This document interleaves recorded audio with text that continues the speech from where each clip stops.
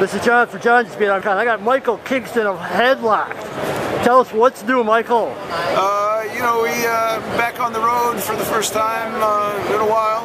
Um, I got some new books that have never seen the business end of a convention table uh, that we produced during the pandemic.